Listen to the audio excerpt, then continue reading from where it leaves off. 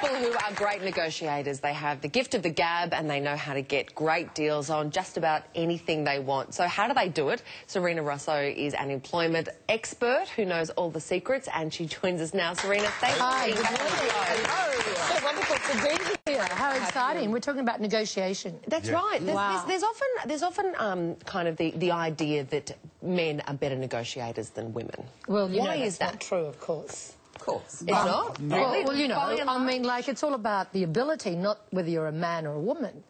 Men, men are pushy. I think Sheryl Sandberg wrote about this. She called it the sort of leaning in that men are, are pushier and they're, they're more confident and they'll ask for more stuff. They'll be more demanding, and eventually people just give up. Uh, yeah, I- well, I've I've been in that situation, and we've all been in the situation in our business where I've, s- I've sat there with a company on, no, no, that's my price. Take it or leave it. And they went, well, we're going to leave it. Sarina, so, So, so I actually um, don't think it's a gender issue. I think it's a skill issue.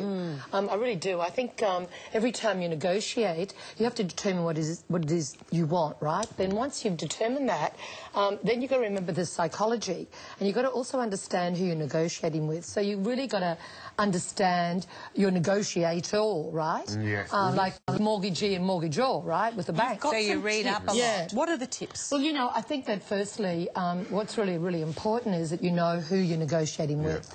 The next thing I think is also understanding that there are two things in, fa- uh, in life that causes failure.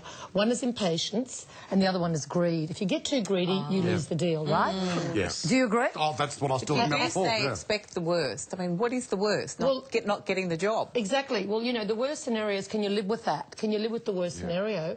And then if you can, the good will take care of itself. So that's really, really important. But the other thing I was going to share is that um, if it's relating to a job, the first thing you do is you've got to win the job. There's no point in negotiating big time because then you will lose the opportunity of a job. So my advice is get into the organisation, show them what you can do, and then negotiate after you've determined what you are good at and what you can contribute as an asset to the organisation. And what about being prepared?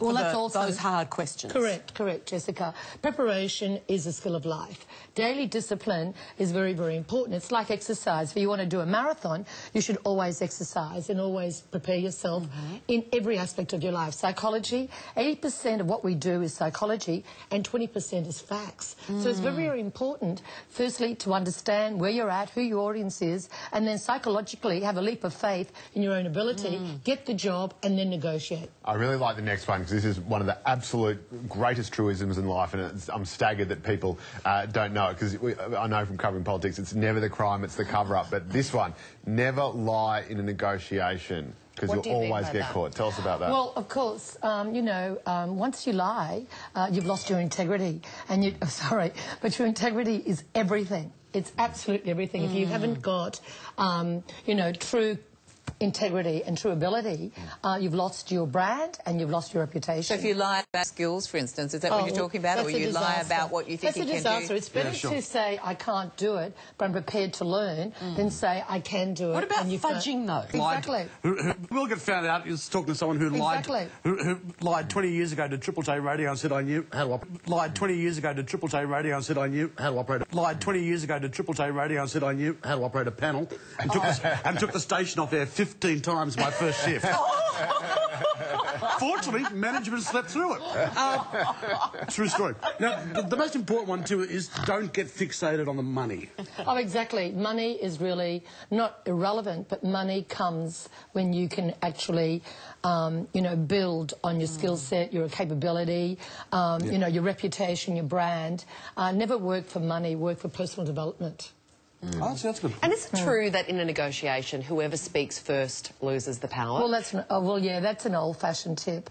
I really believe you've got to once again understand your audience. You may have more than one person you're negotiating with. Always make sure that you include every panel, um, you know, in your negotiation. And once again, you've got to. A deal is about both parties winning. If only one party's winning, it's not a deal. Some, you know, down the track you will lose. So I think it's really, really important. No, you said be prepared. Sorry, Mike. You said be prepared. I, I was often amazed at the people who would come to see me about a job. And if you said, "Did you read the paper this morning?" or "Have you looked at the latest issue of the magazine?" Sometimes they said no, and that's a minus straight away. You know, so how prepared and how do people get prepared? Well, Well, you know, once again, you know, um, jobs. Or maybe live in that case and say, yes, I have read it. no, no, Lie then, I would, you then. I would ask you which article I you like best. Yeah, I always think you should always um, search the company that you're applying for a job. I think that that shows that you're really interested in the organisation. You love the products, you love the services. Uh, I think that's all very, very important. I mean, uh, you know, I'm very excited you're having a boy. You know, you've told the world, and, and we're really, really um, amazed that you gave that information out. But how exciting is that now that, you know, people today have can access information than ever before through the smartphone, through the Google. Mm. So absolutely search your company, search the products and services and find something that you like about that company. Mm. Otherwise, you're mm. never going to win. Yes. Sarina Russo, thank you very much for coming in and sharing Thank your you, Sarah. negotiating tips with us. Still to come on Studio 10, how to handle